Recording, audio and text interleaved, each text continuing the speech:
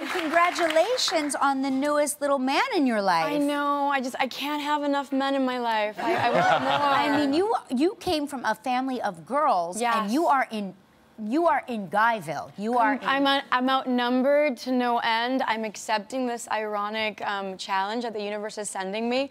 I'm learning so much, but they are they're wonderful. Yeah. But they keep me busy. Oh Yeah. my God. I'm like, we need to get like four treadmills. Just put them on the treadmill. right. Every morning, it's like, just walk, walk, walk, walk, walk, walk, walk. Ah, run, Yeah. run, run. yeah, yeah. You know? It's amazing uh, how many things you realize kids can put their eyes out with when you have toddlers.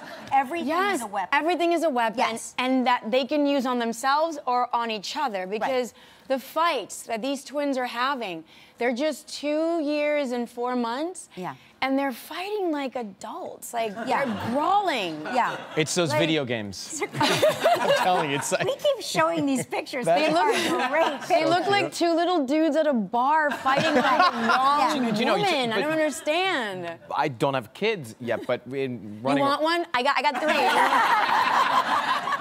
This show's fantastic.